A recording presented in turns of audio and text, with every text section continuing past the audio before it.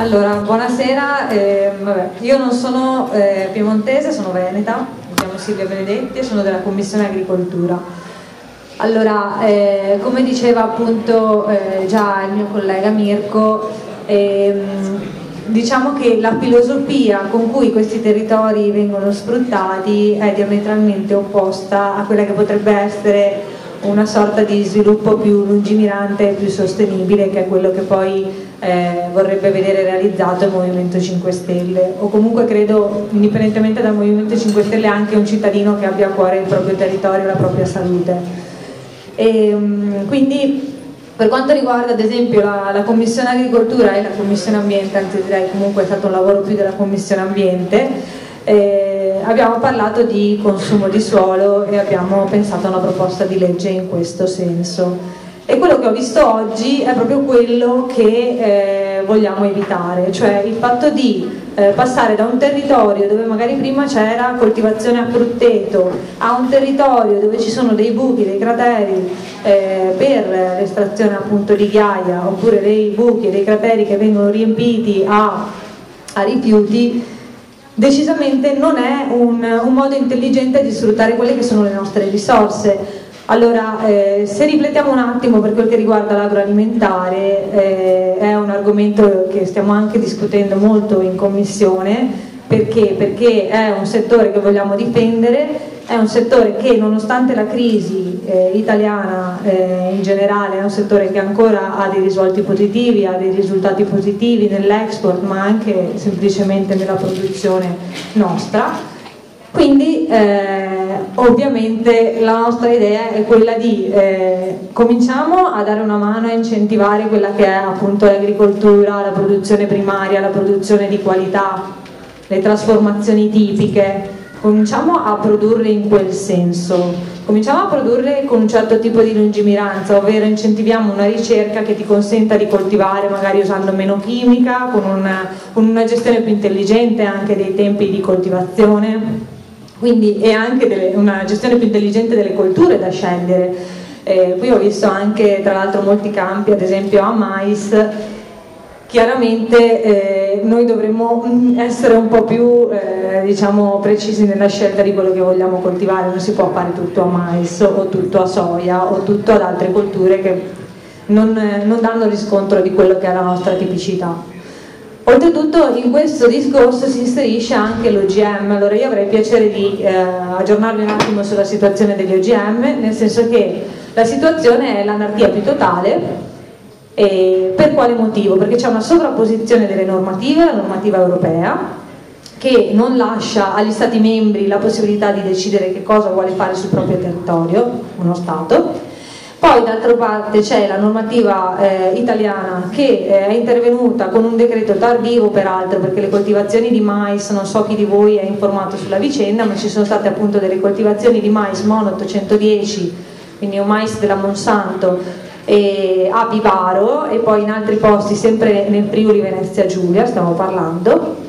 e eh, appunto è stato fatto questo decreto tardivo mh, mm, ad agosto quindi il mais era già bello che fiorito quindi il polline era già bello che andato. E eh, questo decreto non ha di fatto bloccato poi quella che appunto è stata la, la contaminazione verificata successivamente. In questo si è inserito pure il Friuli Venezia Giulia cioè l'amministrazione regionale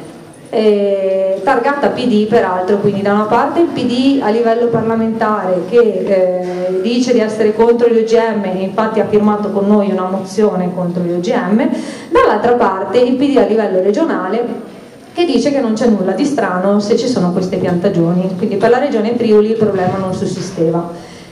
una sovrapposizione di eh, appunto, poteri e ha portato all'impasse eh, più totale, per cui l'unica cosa di fatto è stata eh, verificare la contaminazione successiva, quantificata attorno a un 10%.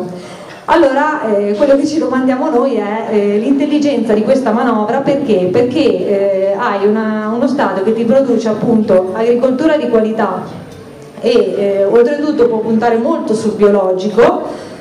momento in cui c'è una contaminazione sul biologico non puoi più puntare, perché? Perché eh, un biologico viene certificato tale se l'assenza, cioè la presenza di OGM arriva fino a un massimo dello 0,9%. Per come la penso io dovrebbe essere un massimo dello 0%, chiaramente. Se pensiamo magari a un biologico fatto lì attorno,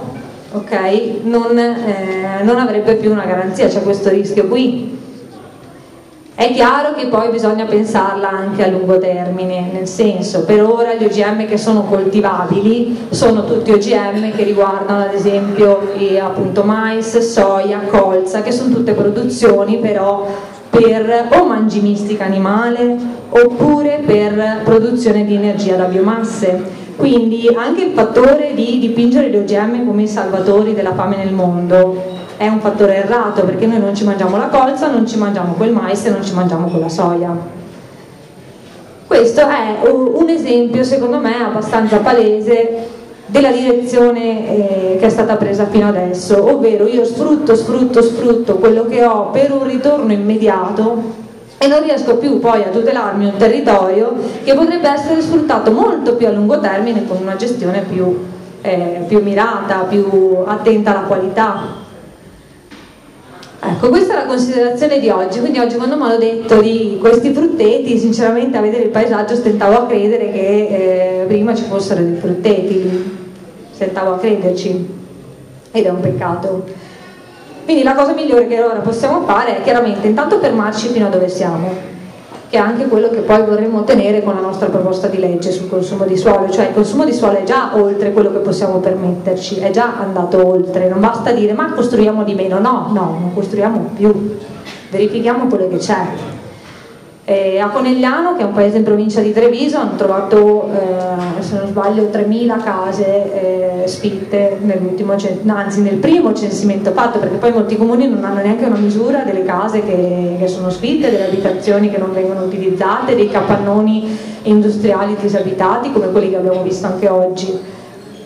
Quindi a Conegliano hanno fatto un conto, 3.000 case che stanno lì senza far niente, a Roma c'è stato un conteggio, cos'è, 150.000 edifici sfitti, recente, eh. quindi eh, non è che siamo senza la possibilità di fare una valutazione diversa. Ecco, la riflessione di questo giorno per quel che mi riguarda è questa.